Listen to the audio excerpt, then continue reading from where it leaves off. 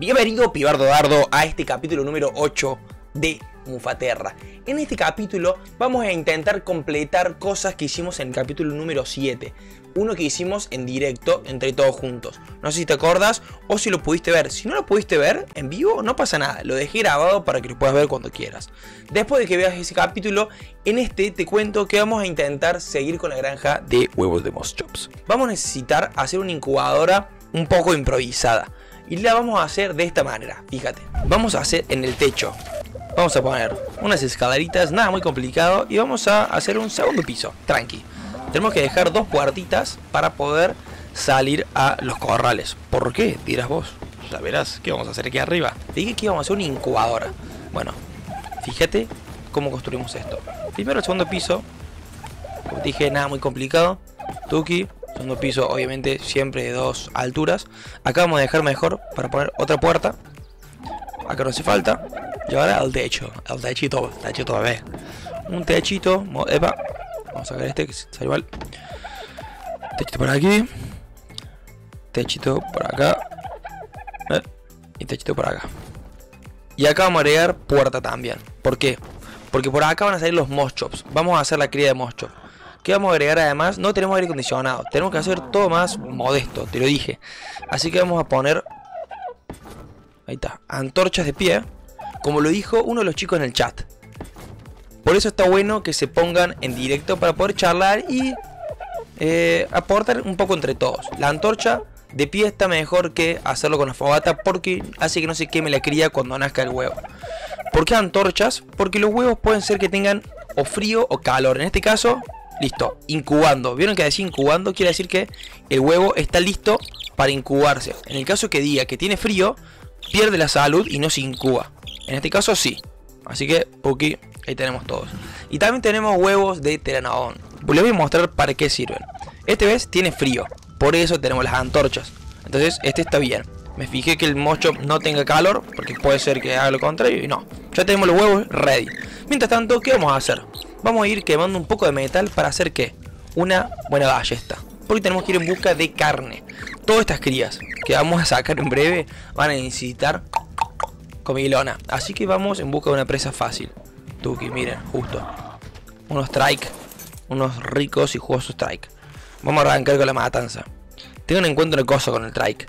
Que no es como un raptor, por ejemplo, que le pegas en la cabeza y tiene más daño. Esto es al revés. Voy a intentar mostrarte gordinflas. Mira, 14 porque le pegué en la cabeza. Vamos a ver cuánto daño le pegó si le pego en la espalda.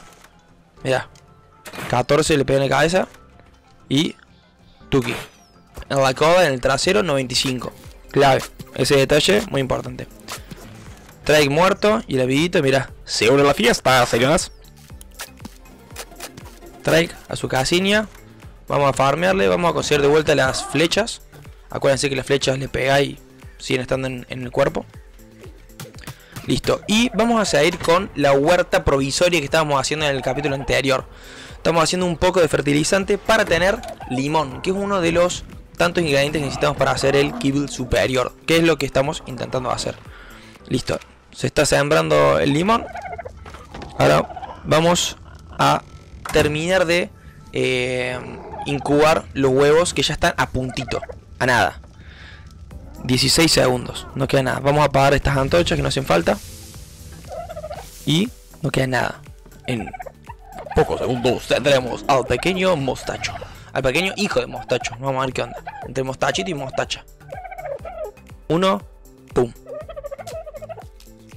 A ver. Es clave que sean hembras. Necesitamos hembras. Los machos no necesitamos. Vamos a meterle un nombre. Bebé 1. B1 es hembra, sí señor. Señoras y señores, bienvenidos, mostacha. Ahora vamos a ir eh, criando los otros tres huevitos. Pero vamos a ir paso a paso. Vamos a ver los tiempos, ¿ves? Este tiene un minuto, así que tranca. Y este otro tiene 30 segundos. ¿Por qué paso a paso? Porque hay que ir dándole de comer en la boca. O sea, literalmente hay que ir a... Mira. Ahí te digo el otro. Nació otro. Vamos a ver este. Bebé 2. Y este es macho. Una mierda. Bueno. ¿Ves? Hay que darle a los bebés, cuando son bebés, literalmente, hay que ponerle la comida en el inventario. Si no, no comen. no comen del, comedero. Y tengan en cuenta, miren, ¡uh! Esto es muy poco probable. Que suartón. Vamos a ver si alguno de estos dos es macho. Es hembra, perdón. BB3. Baby 4. Y macho. Una caca. Y fíjense el próximo que vamos a abrir. La, la salud. Muy poca salud. Nacen así, con poca salud. Hasta que terminen creciendo. Vamos a sacarlo al corral. Total, ahora no pasa nada. Y vamos a irlos criando acá afuera. Hay que tener cuidado eh, de no dejar descuidados de que coman. Siempre tenés que ir y darle de comer, mira. Se nos murió el primer bebé, Moschop Killer. Eso fue porque no le di de comer. Fue el último huevo que puse. El último no, el Moschop 2. Bueno, mala suerte.